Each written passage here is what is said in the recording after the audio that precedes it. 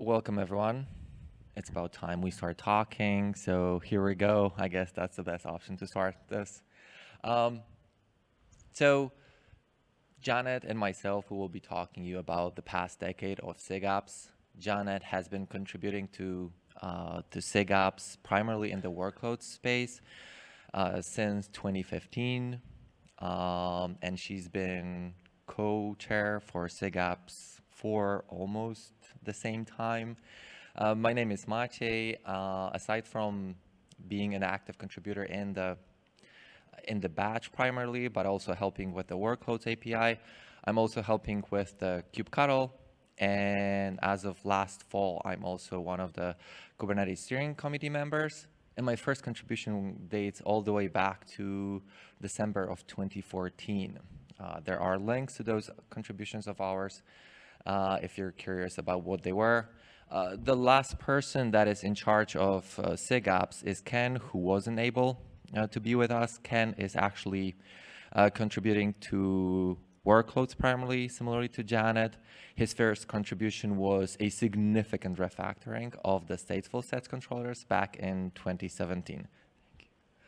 Um, so the SIGApps, if you look at the space that we are covering, we are actually covering three major API groups within the Kubernetes uh, ecosystem. Those three API groups are batch, so if you think about jobs, cron jobs, um, the biggest API group that we own is around the app, so all sorts of uh, stateful and stateless uh, controllers, replica uh, replica uh, controllers or daemon sets which span all the nodes in your in your running cluster. And, and lastly, the smallest group that is actually uh, one of the most important, which ensures that whatever disruptions that are happening in your clusters are not affecting your application's um, HA functionality. So what the early days look like because like the title said we want to go through the past decade of of the kubernetes project with an um, with a special focus on what the special interest groups apps was doing over the past 10 years even before uh, SIGs were uh, initiated. So the first officially available tagged version of Kubernetes was in September of 2014. That was version 0.2 and it was released with a V1 beta API. There was no API groups at the time, only single group. Everyone using were, were using just that. It was beta one. Um, and the several few resources, and that's literally all the resources that the Kubernetes cluster had at the time. There's literally just pods, replication controller, uh, if you don't know what a replication controller is, you can think that it's almost identical to replica set. Uh, we renamed it later on, but both replication controller and replica set are still available because they were uh, GA at the time uh, back in the history. Services, endpoints, events, that's probably something that uh, a lot of you are familiar. And there's one, uh, a very funny name, which is a minion, uh, does anyone know what a minion is? Cool. What is it? Yes, it's a node. At a later stage in the project, we renamed the minion. I still don't know why that change happened. I really like the minions. Um, I checked earlier today we weren't first. I really was hoping that the Kubernetes project came up with the name Minions first, but unfortunately that was already, uh, Despicable Me was released in 2010 from what I checked earlier today, and we were in 2014, although based on what the uh, founders of the Kubernetes project were talking about, uh, they were, the, the primitives behind the Kubernetes projects were even long before that past decade or the past 10 years. Uh, it was even before that. So the day before, uh, after that September 0.2 release and all the way until 1.0, which was released later in, uh, in June of 2015. There has been a lot of change, a lot of turmoil. If, if you would look at the code base, it was shifting back and forth in so many places. Everything was being rewritten. The API went through a significant rewrite. So you can see in the on the slide, we quickly went through a uh, V1 beta 1 through beta, beta 2, beta 3, the entire machinery around API conversions and um, the ability for users to pick whichever version that was suitable for them. Uh, all that was uh, slowly uh, happening in, in, in a lot of pain and, and a lot of uh, hard time. Uh, additional changes, like I mentioned, uh, kubectl wasn't a thing in the initial version. Uh, it was actually kubecfg. Out of curiosity, I was looking earlier today, and it seems that there is a project which is called kubecfg, but it doesn't have anything to do with the one that I have on the slide. If you look through the source code, I think that was around four, uh, 0.6 or 0.7 when we renamed kubecfg and rewrote it from scratch as kubectl and in the shape and form that you know um, and, and, and, and, work with on a daily basis. And like I said, we did rename the, the minions to nodes at the same time. And lastly, uh, from various different changes, there was a basic authentication was added because initially Kube did not have any security primitives. Hmm? So like I mentioned, Kube 1.0 was released in in July of 2015. At the time, we were able to scratch some of the API surfaces. So we released a fully supported V1 version with still exposed V1 beta 3 version, although a lot of people and a lot of examples were, uh, were changed such that um, uh, a lot of people should be using the V1. Out of the interesting changes that also happened at the same time, we already approached and exposed pluggable schedulers. So the slowly we started building the primitives to allow uh, expanding the, the built-in Kubernetes capabilities, although it was very in, in very limited way. Um, and at the time, the pluggable scheduler still required you manually uh, rebuilding the entire Kubernetes from scratch to have that functionality and there were initial primitives around the, the basic admission uh, plugins. So uh, with that, I'm going to talk about the rest of the refinement. After 1.0, uh, we have huge investment in the workloads uh, controllers. So for example, um, Maciek just talked about replication controller. So we start trying to add rolling update functionality to it. We started with uh, using the uh, kubectl rolling update command to experiment with the right behavior. And then when we are ready, we add that to deployment API. So deployment start controlling replication controller for the rolling update feature in 1.1. And then we add more uh, workload APIs to support different types of workloads. For example, for the, uh, for the daemon uh, workloads running on each node, we have the daemon set. And uh, for the batch workloads, we have the job API. And then in 1.2, we add the replica set API because we decided that um, the replication controller name doesn't really resonate because it has a controller in its name and it's a controller. So we think that replication, uh, replica set is a better name.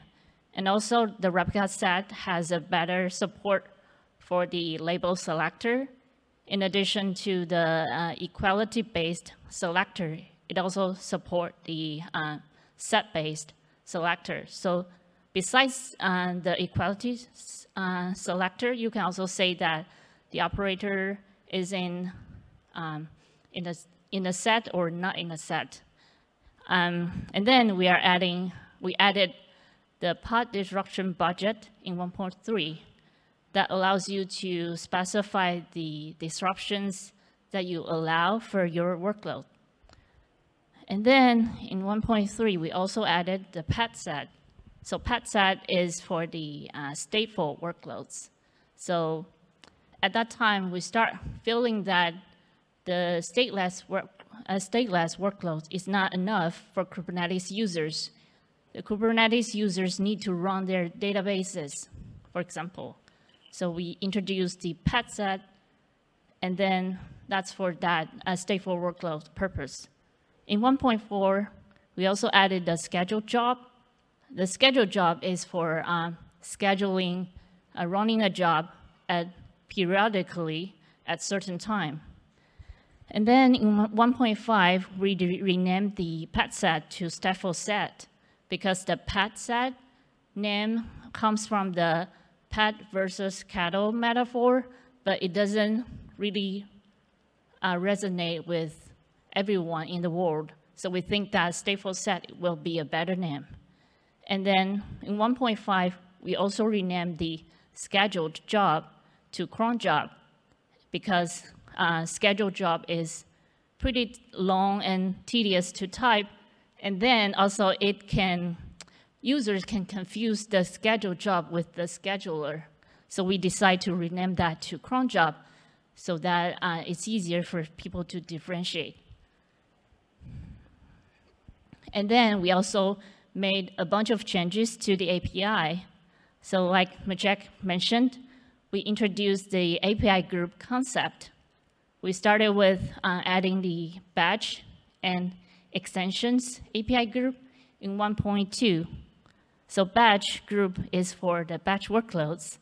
And the, uh, the reason that we're adding API groups is that you can have different APIs evolve at a different time.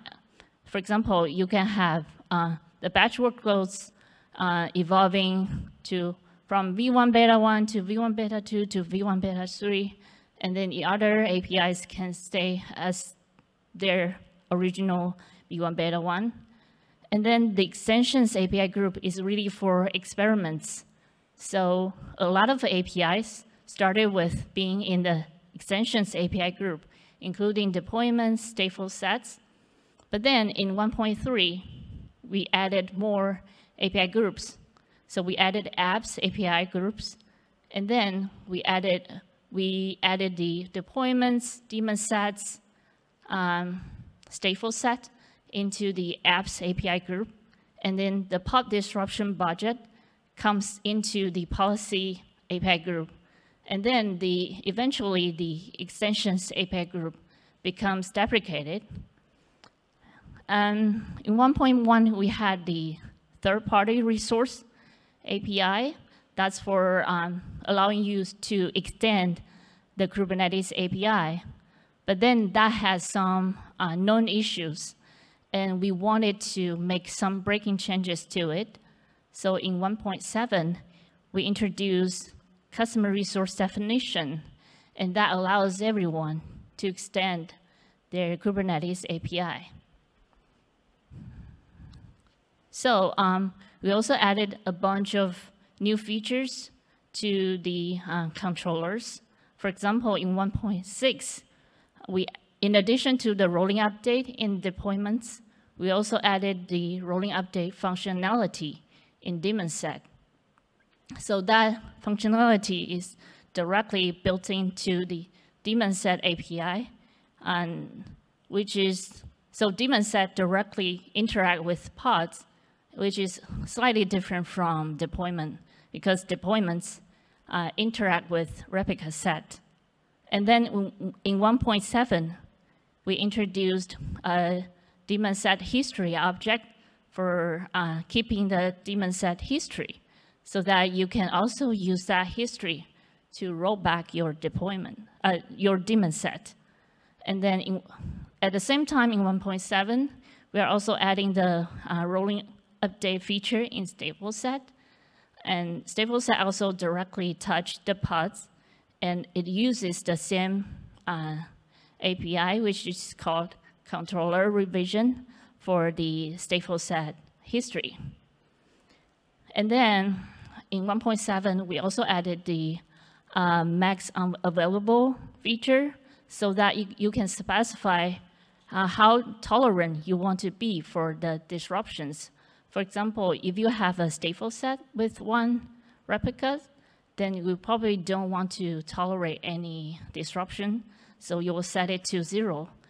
But if you have um, de- deployment with more than one replicas, then you can set it to a higher number. And in 1.8, we added the backoff limits to the job API so that you can set how many times you want to retry the job, uh, retry the job before you set it to fail. And then in 1.12, we added the job TTL controller so that you can uh, clean up the job after they finish because that's a pinpoint for the users when the uh, completed job just lingering in their cluster and take up the space of etcd. So at 1.9, we GA the application, the apps API group. We move all the workloads API to GA. And then to do that, we need to make sure that they are all consistent. And the API fields will be consistent. The rolling update features are consistent. And the status conditions also represent consistent behavior. And, and then besides that, we also added a bunch of other uh, features. So for example, in 1.4, we introduced the KEP, which is Kubernetes Enhancement Proposal. This is the process for you to propose change to uh, Kubernetes, and you just write something and explain what you want to do instead of just filing a PR directly for the change you want. And in 1.6, we also added a lot of improvements to the performance and scalability so that the cluster can have 5,000 nodes. 1.8, we introduced uh, special interest groups, which is SIG, and SIG-apps was one of the first 12 SIGs, and now we have 24 SIGs. And with that, I'm going to hand it over back to Jack to talk about the beta APIs that's there forever.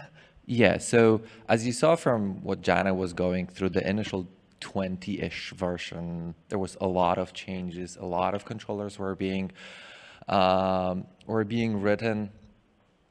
And then suddenly around 120, the SIG architecture, so one of the initial six, the one that is responsible for the overall architecture of the Kubernetes, figure out that there are several groups in the API surface of Kubernetes project that are in perma beta phase. Um, so they wrote together a, an enhancement which describe a clear requirement that any given API group cannot be in a beta phase longer than two releases, after which it, it has to either introduce another beta phase or be promoted to GA. Uh, we within the SIG apps uh, were um, were affected by this change, primarily by the cron job API, which unfortunately, as you see on the slide, was in a beta since one point, if I remember correctly, 1.8. So that wasn't that bad, but there were worse offenders like pod disruption budgets, which literally since the moment that they were incepted, they uh, they weren't touched. There were some minor changes in the API surface, but nobody found the time to and push this forward, make sure that this is fully supportable. And in parallel to that, a lot of users between whether that was 1.8 or 1.3 and 120 started heavily relying on on both of those resources. So we needed to to do something. So uh, I was pitching a lot of changes around the cron job controller, and I I found eventually after multiple conversation a person and actually Alay is over here. Alay helped me rewrote the entire controller. Uh, there is a presentation that i that i gave uh, several years ago about writing controllers back in in copenhagen from 2018 if you're curious what it is to write a good controller um, i totally recommend that. Uh, just a quick uh, recap of what was said over there. Previously, controllers were written such that we were always looking at the API and polling what's going on. Uh, over time, Kubernetes uh, introduced a pattern that is called uh, shared informers, where you just register your hooks and being informed about the changes to particular resources. So with that, we needed to actually rewrite. And a lot of the controllers that we previously had, literally as the shared informers were created, they were battle tested and rewritten as we were talking.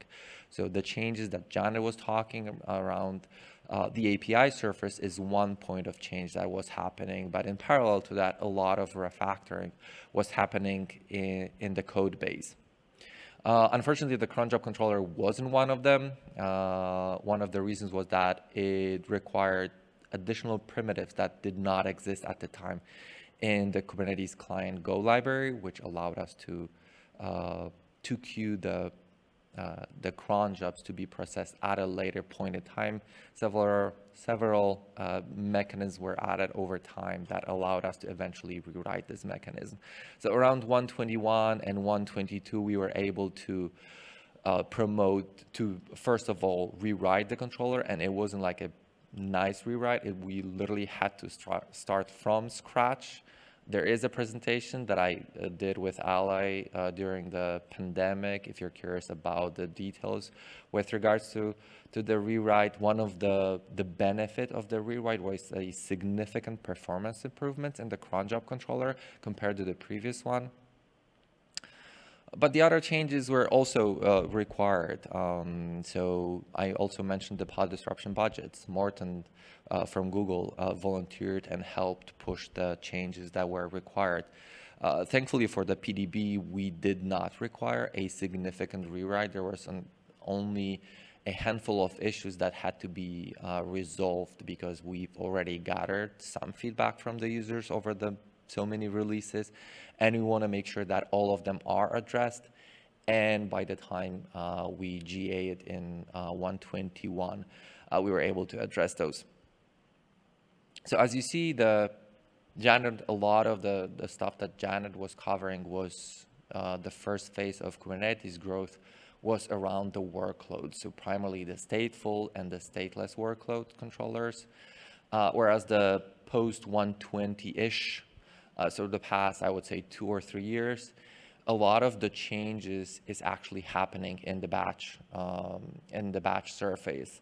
So a lot of changes primarily to the job controller. The job controller, um, it was GA'd very early on, and Jana was talking about it, but it had a couple of flaws. One of that flaws that that I was aware when I wrote the, the controller originally in 2015, 2016, was the fact that the job controller needed the pods that were finished to still be around to be able to calculate it it finishing status, which was a problem if you run a job with, I don't know, like a thousand, two, uh, or 10,000 or even 100,000 pods because you don't want to have 100,000 pods lying around until the job finishes.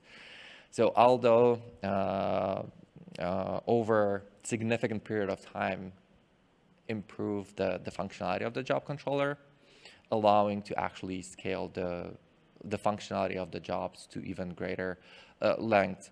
Additional changes, the, the index job, that was actually one of the requirements when I was working initially with Eric from Google. Eric, I think once we put the job controller, one of the first issues that he opened up was like, we want to have index job. But it took us only six, seven next years until we were able to pick it up and introduce functionality like index jobs or the fact that we started running and we moved off of the stateless and statefuls because they were running just fine. And we started focusing on the, the batch so all kinds of hpc workloads or ai ml these days a lot of those workloads are being run on kubernetes and suddenly we uh, we've identified a lot of hurdles and problems that people were facing when they were trying to run um, uh, these types of workloads. So we started working on stuff like elastic indexes, retriable pod failures, um, back off limits per index, and so forth. Uh, one interesting thing that I that I did mention in the previous slide, but I'm also going to mention here, was the cron uh, time zone uh, snafu that we had with cron jobs. So uh, that also was one of the oldest issues that we had in the Kubernetes project, where people initially requested us to add the time zone uh, capability setting. And our initial response was that you should be using some kind of like UI to translate to whatever the time zone is on the kube controller manager. But we eventually agreed and we added, after we were able to GA the cron job controller, we added and expanded the functionality. Thankfully, the library that we were using behind it was supporting the time zone functionality, so we built on top of it. Unfortunately, uh, we all made mistakes, and the mistake that we did was we upgraded the library, which was all in fun. Uh, the unexpected bit that came out of it was that people were suddenly able to set the time zone on a cron job through an unsupported variable. So if you would use cron underscore tz or tz in the name of the time zone, in the spec schedule of a cron job at one point in time in Kubernetes in the past, I don't know, like three, four releases back, it actually was able to pick up the, uh, the time zone correctly, which was a, a mishap on our, our end because we didn't notice that the library that we were using for parsing the schedule actually exposed this functionality. So it took us additional couple more years to be able to prevent people from setting by um, first warning them that they are using unsupported functionality.